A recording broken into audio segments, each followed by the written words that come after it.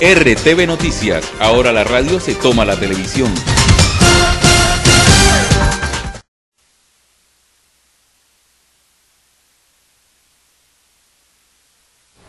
Siete de la mañana, 19 minutos. Jurador, jurador, jurador.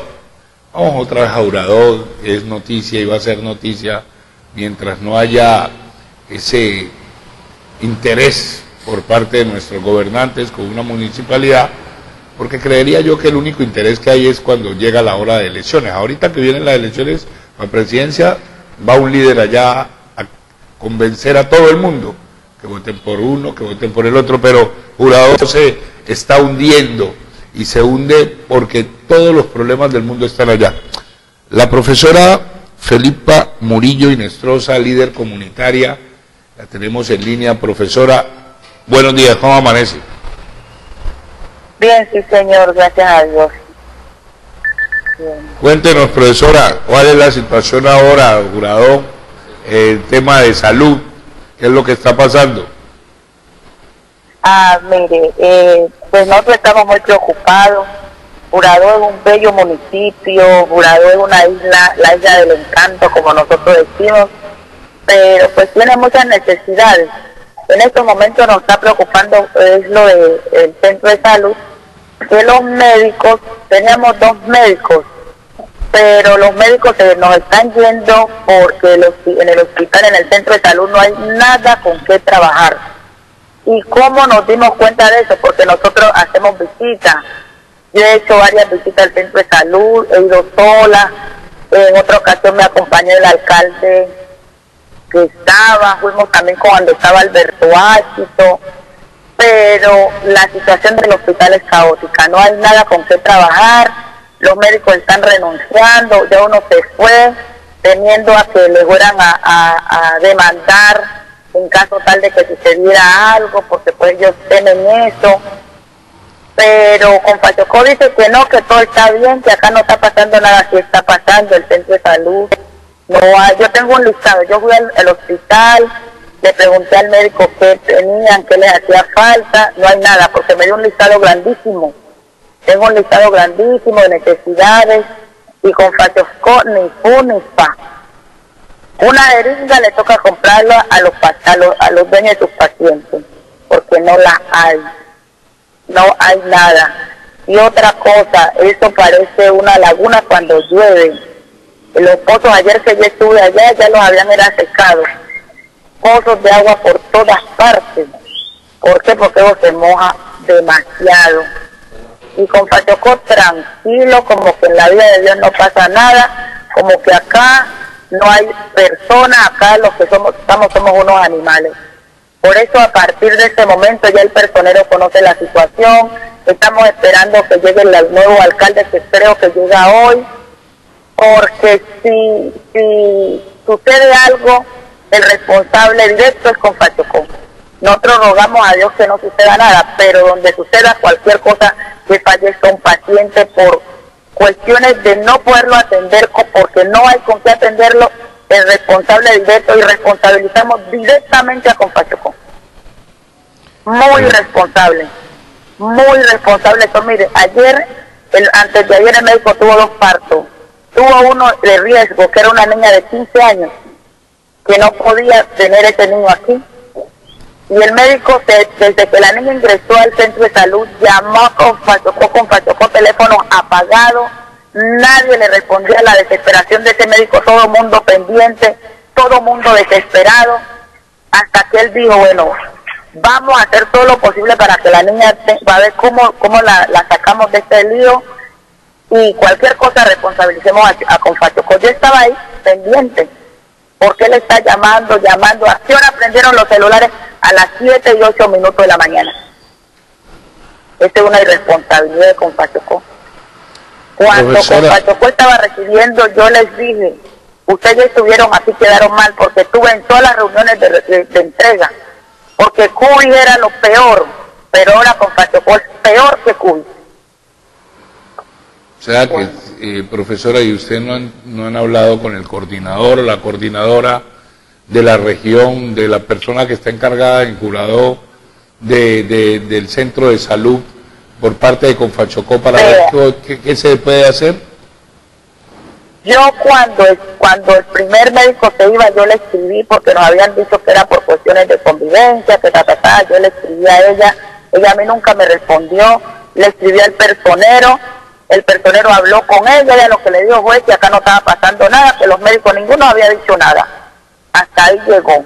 Pero el médico, el personero me dijo ayer que se había reunido con la de y, y, y pues también le había dicho que no, que acá como que todo está bien, que, que pues no han pasado como ese informe, no sé, y yo tengo la hoja, tengo el listado, vea, la, la coordinadora, acá no hay ni coordinador todavía, la coordinadora que salió porque era la bacterióloga que tampoco hay, nos dijo que ella le había pasado más de un listado a Confachocó, más de una, un escrito a Confachocó y no nadie le para bola. Nosotros también necesitamos, la salud es necesaria para los seres humanos. Y si tenemos un centro de salud, hombre, al menos lo básico podemos tener. ¿Cómo que no? Y cuando nosotros nos damos como entidad golpes de pecho que lo vamos a hacer bien, hagámoslo bien. Porque eso fue lo que ellos dijeron cuando estaban recibiendo. Yo estuve en todas las reuniones de entrega. Y no, ¿y qué van a hacer entonces ustedes? Señor.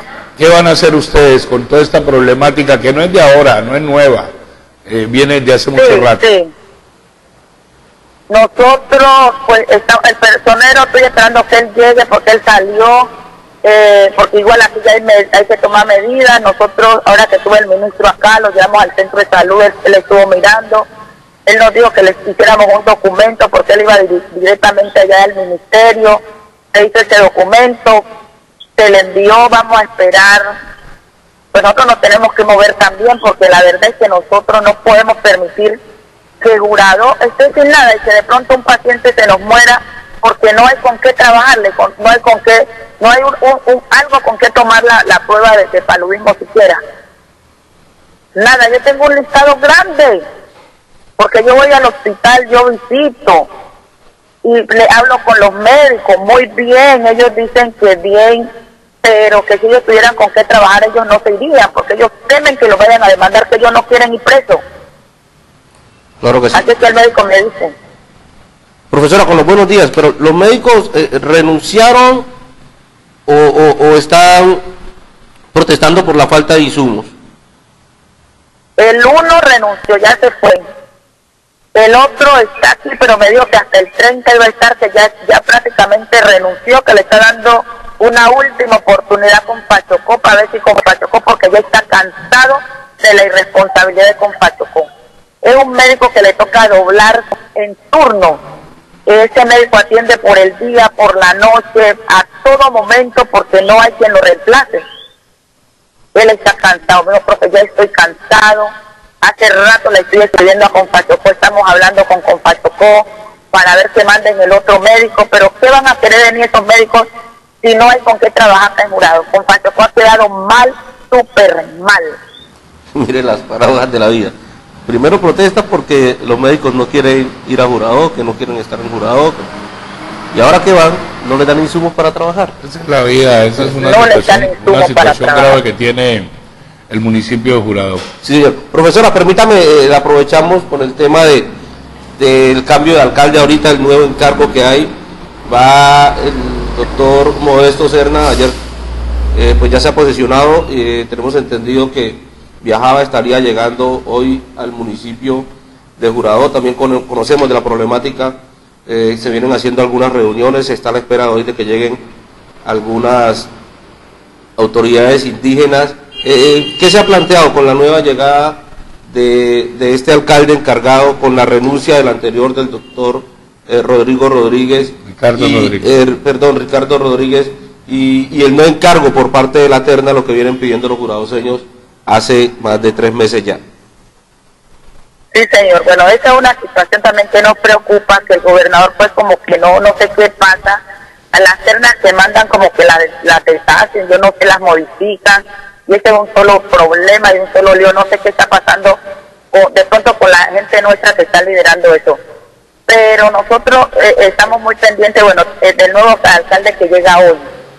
Acá estamos haciendo unas reuniones, no se van a tomar medidas pues contra él ahora, vamos a mandar una terna, esa terna se va a ir en estos días, la, la, la, las medidas las tomaremos después que se mande esta terna. Que si el gobernador no nombra lo, alguno de los de las personas que van en la, de la terna, ahí sí esto se va a revolucionar porque ya se está programando una, una, un plantón porque ya es una patanería, le digo. Esta es una patanería. Está programando el plantón para si no respetan la terna que se mande ahora. Profesora, pero ¿qué es lo que pasa entonces en un municipio como Jurado? Esta es la cuarta terna, tengo entendido. Las otras como que se ahogaron ahí en el mar, pero esta es la cuarta terna. ¿Por qué no se nombra a las personas las cuales han enviado en las ternas? ¿Qué es lo que pasa? ¿Hay algún temor de parte de los juradoseños por esas ternas o por esas personas que están en la terna? Pues le digo que en ocasiones, eh, pues yo siempre digo, la gente no está pensando en el beneficio de jurado. Es mi punto de vista. La gente no está pensando en el beneficio de jurado porque si nosotros quisiéramos a jurado, de las personas que han ido en la terna, hay unas que no, no llenan pues como los requisitos que de pronto uno dice no es capaz, pero hay otras que sí pudieron haber sido capaz de, de manejar los destinos de, de, de este, de este municipio pero las personas, hay personas que no lo quieren y que están apenas por su bolsillo, por su bolsillo, uno escucha lo que se viene el predial, Aló. se apenas de la plata, no están pendientes y pensando en jurado. Son juradoseños, pero no están pensando en jurado. Jurado es una isla hermosa, jurado el Estado le da, pero la misma gente de acá vuelve es un desorden. Y eso es lo que yo no quiero. Yo quiero que mi municipio lo que lo que sea para jurado, hombre, somos juradoseños, trabajemos por jurado, decimos queremos a jurado, no lo queremos nada. No lo queremos nada porque tengo entendido que todas las personas que están manejando eso allá, se quitando y poniendo son juradoseños. Este no, porque este está inhabilitado, este de aquí sí llevan papel a la gobernación, llevan este, llevan lo otro y se desbarató eso. Eso es cuestión de bolsillo y nosotros no queremos una persona que únicamente esté por, plata. Nosotros queremos en, en jurado de alcalde encargado una persona que tenga sentido de pertenencia y que quiera de corazón a jurado, que lo quiera de corazón, que no con hipocresía, querer y querer y apenas están es porque se están llenando de dinero.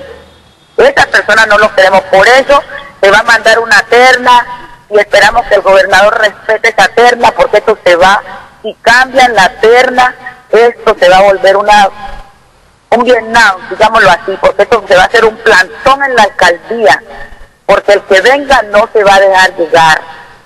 Aquí ya lo hicimos una vez. Y ahora va a ser más duro.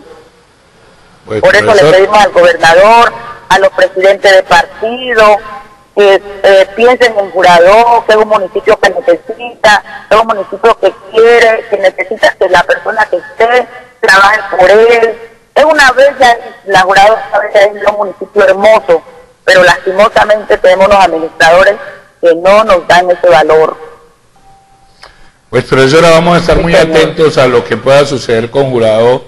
Estamos siempre ahí metidos en las noticias de jurado. Esperemos que se le pueda dar pronta solución a lo que ustedes piden, que llegue una persona que en verdad quiera trabajar por jurado y quiera sacar adelante toda esa problemática que tiene. Esperemos que el, el alcalde encargado, así esté un día, dos días o tres días, qué sé yo, o tres meses, eh, pueda darle solución a la problemática el doctor Modesto Serna. Que pase buen día, profesora. Sí, sí señor, de todas maneras, muchas gracias. Bueno. Ahí está, pues. Si no les dan solución, va a haber plantón. Vietnam, dijo. ¿Cómo? Se va a formar un Vietnam. Un bien. Plantón. Esperan Ojalá que, no, llegue a que van a mandar una terna. Esta vez la van a mandar custodiada. Mejor dicho, va a venir con todos los bloqueos de seguridad para que no lo vayan a. Que este no, que este sí. No, y la verdad lo que ha dicho la profesora Pedro, eh, los directores de los partidos, que ya es hora que se pongan también serios con ese tema, que si van a escoger, escojan a las personas que van a escoger por el partido de la U y por acá por cambio radical para que no haya tanto inconveniente porque no puede ser que Jurado siga en, ese, en esa tragedia. Fuera de que no le, allá van allá y no construyen las cosas. Hay un acueducto que fueron y hicieron un parapeto y, y el agua no llega. La escuela pues como que la están construyendo por ahí, pero después de tanto voltear. No, hay un colegio, el colegio, El el colegio. colegio San Roque, sí señor, pero me dicen que tiene una problemática grandísima y es una problemática de ruido, que tiene una planta de energía que no se escucha. todo el Sí mundo. señor, que no, me que el dice el no saben los, los docentes cómo están dando clases y los alumnos Megáfonos. cómo reciben las megáfonos. clases. Problemática grande. sí. Una locura todo eso en jurado y para acabar de ajustar el tema de la salud, uy que no servía. Llegó con Guachocó que era el que servía, ahora no sirve. Es una locura. 7.34, hacemos pausa, ya volvemos.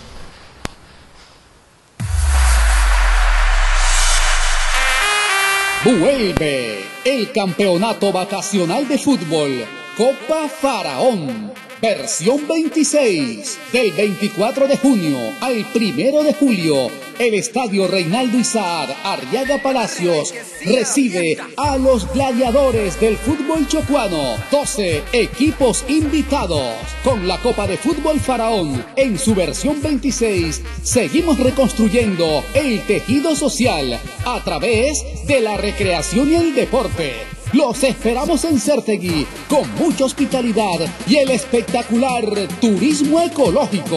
Invita Lina Patricia Moreno Palacios, alcaldesa municipal de Certegui. Organiza el Club Faraón. Faraón, Faraón,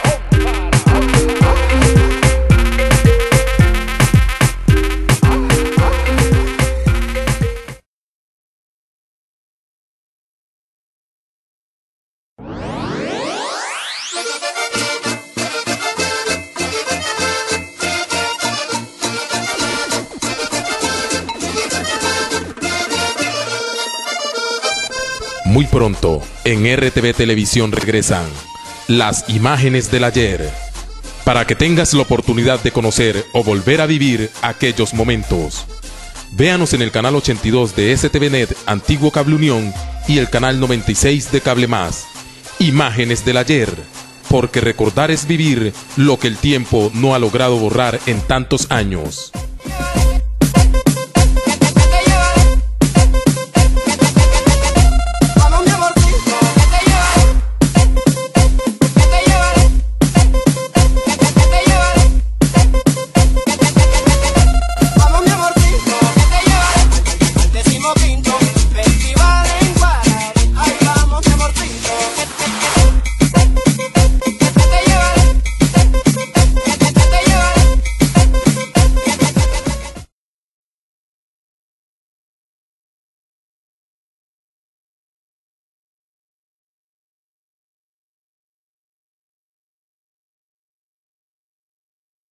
Dirán que qué billete tan complicado, pero que me manden por un giro es un sufrimiento. Ese punto de giros estaba lejísimo. A mí que me manden por supergiros. Hasta su plata prefiere Supergiros, el único que abre de lunes a domingo hasta las 9 de la noche y tiene una sucursal a la vuelta de la esquina en más de 4.000 puntos de chance del país. ¿Para qué giros cuando hay supergiros?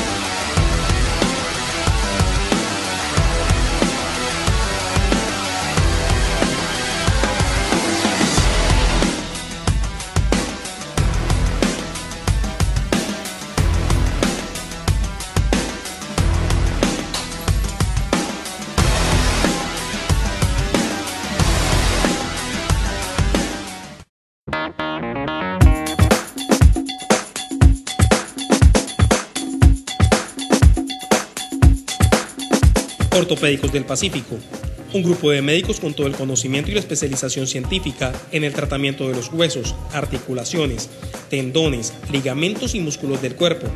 Julio César Kutenroikovich, médico fisiatra. Harold Hoyos Urrutia, especialista en reemplazo articular de cadera y de rodilla. Roger Alead Madrid, ortopedista. Y Narcilo Arborea Hurtado, especialista en ortopedia de columna. Contamos con las nuevas técnicas quirúrgicas y los procedimientos en servicios ortopédicos más avanzados, que incluyen el uso de sustitutos de injertos óseos y la fijación externa avanzada, así como el tratamiento de deformaciones e infecciones en los huesos y columna vertebral, ruptura de ligamentos, juanetes, dolor de talón, luxación de rótula, terapia física, respiratoria y todo lo relacionado con el campo. Ortopédicos del Pacífico, carrera cuarta número 2912, teléfono 320-672-9448.